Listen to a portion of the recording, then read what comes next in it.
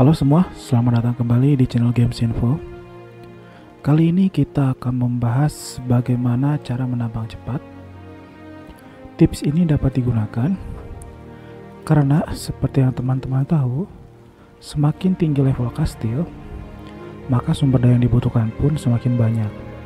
Sebagai contoh, di sini saya mengupgrade kastil level 24, 23 ya, menuju 24. Di sini membutuhkan gold sekitar 48,1 miliar. Kemudian untuk kayunya sekitar 48,1 miliar. Dan untuk ore dibutuhkannya sekitar 25 miliaran. Kemudian untuk mananya sekitar 3,1 ya, 3,1 atau 3,5. Seperti itu. Jadi semakin tinggi level kastil, maka yang dibutuhkan pun semakin banyak. Oleh karena itu dibutuhkan tips agar kita menambangnya supaya cepat dan tidak stres juga. Karena apabila teman-teman tidak mengetahui triknya, maka teman-teman akan stres ya menghadapi sumber daya yang banyak.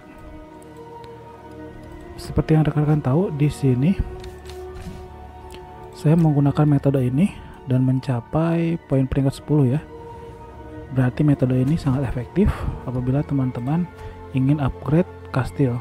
Jadi nanti tidak masalah mau kastilnya sumber dayanya berapapun. Baik, sekarang kita mulai dari yang pertama. Teman-teman usahakan untuk mengupgrade hero khususnya untuk jenis pengumpulan. Jenis pengumpulan ini seperti ini ada tulisannya, jenis pengumpulan, jenis pengumpulan dan ini jenis pengumpulan juga. Kemudian untuk talenta, diusahakan teman-teman berfokus kepada talenta yang sebelah sini, tengah. Ini untuk mengumpulkan, terutama untuk bagian kapasitas legion. Ini sangat penting ya. Kemudian kecepatan pengumpulan, itu juga sangat penting. Kapasitas legion ini untuk supaya kapasitas pengangkutan sumber daya jadi lebih banyak. Setelah itu, kapasitas juga harus ditunjang dengan kecepatan. Ini kecepatan ya lanjut ke bagian hero yang warna biru. Ini juga hero ini sering digunakan karena ada skill pengumpulannya. Skill pengumpulannya usahakan naikkan saja bagian tengah fokus.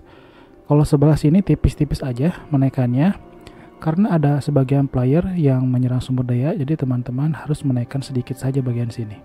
Tapi utamanya fokus ke bagian yang tengah atau bagian pengumpulan. Setelah itu hero yang lain pun sama naikkan juga skillnya ke level max agar lebih optimal. Selanjutnya mari kita lanjut ke bagian reset. Untuk bagian reset teman-teman dapat fokus ke bagian ini. Meningkatkan kapasitas sumber daya seperti yang sebutkan tadi supaya kapasitas mod sumber dayanya semakin banyak. Kemudian yang selanjutnya seperti ini juga tingkatkan dan ini meningkatkan kapasitas dan ditambah juga untuk meningkatkan kecepatan pengumpulannya ya. Teman-teman untuk mereset ini harus ditunjang dengan kondisi kerajaan. Apabila kondisi kerajaannya sering war maka teman-teman harus fokus di bagian militer sambil tipis-tipis mereset bagian ekonomi. Selanjutnya kita masuk ke bagian item atau boss ya. Teman-teman dapat menggunakan ini 24 jam.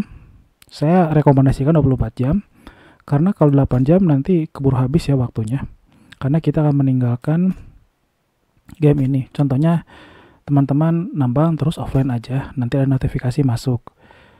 Karena item ini sangat penting dia dapat menambahkan ini ya.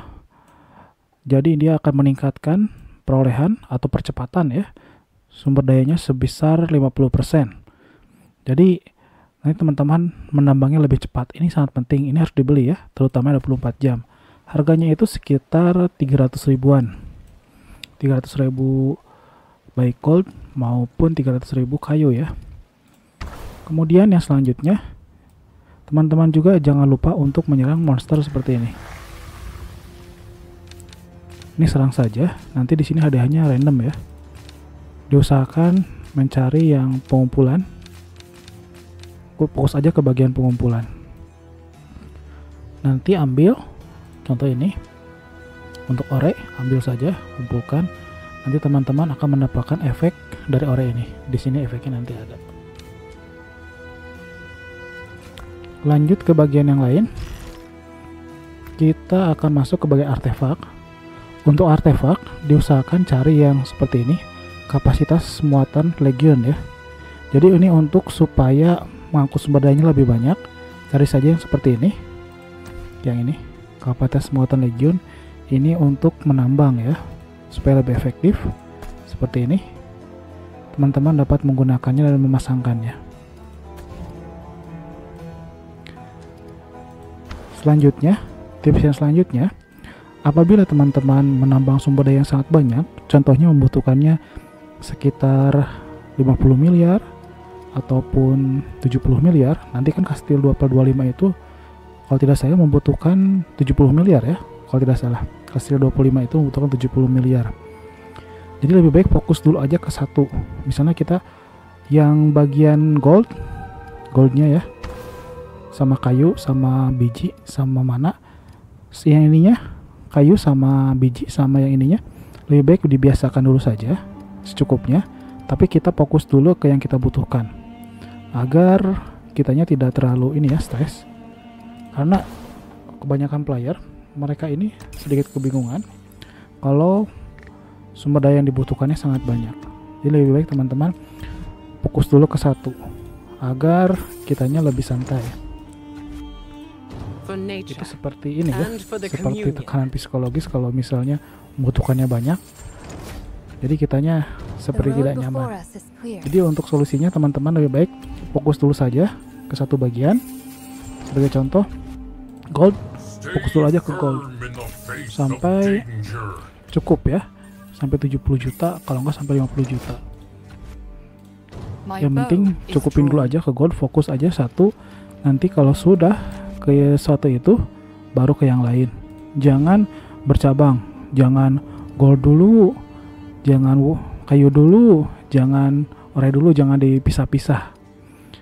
Yang selanjutnya yang paling penting adalah diusahakan upgrade kastil untuk mencapai level 22 karena kalau mencapai level 22 itu kita akan mendapatkan antrian legion sekitar 5 atau nambangnya akan 5 jadi lebih cepat untuk proses menambang selanjutnya tips yang selanjutnya diusahakan kita menambang. Jangan terlalu padat seperti sini ya terlalu padat. Kalau terlalu padat nanti teman-teman sulit untuk mendapatkan sumber daya yang diinginkan. Nanti teman-teman akan ngacak ya sumber dayanya. Sebagai contoh nanti goldnya bisa dapat sedangkan uh, seperti ore sulit dapat jadi lebih baik memisahkan diri dulu saja. Kalau teman-teman membutuhkan sumber daya yang dalam cukup sekitar 70 juta kalau nggak yang besar-besar lah sekitar 50 juta ke atas. Mungkin lebih baik teman-teman pindah saja ke lokasi dekat bir seperti ini. Kalau nggak dekat monster ya apa pun. Kan di sini sumber dayanya banyak selain itu juga di sini dekat dengan monster seperti ini. Monster yang memberikan efek buff ini. Ini sangat penting. Kalau teman-teman berkumpul itu lebih baik ketika war saja. Tapi ketika teman-teman sedang punya target untuk menaikkan kastil seperti kastil 25 ataupun kastil 24 lebih baik teman-teman memisahkan diri di jarak yang cukup cek dulu aja sumber daya yang tersedia seperti contoh ada level 6 ada level 5 itu sangat cocok untuk menaikkan kastil lebih cepat. Setelah itu juga jangan lupa setelah menambah aktifkan notifikasi di HP. Jadi kita tidak perlu standby. Misalnya nanti ketika nambangnya sudah selesai, nanti ada notifikasi kita online lagi, nambang lagi. Ya, segitu aja tipsnya untuk menambang dengan cepat. Tips ini sering digunakan ya oleh player-player yang menambangnya dikumpulkan atau banyak juga yang menjualnya ya menjual sumber daya.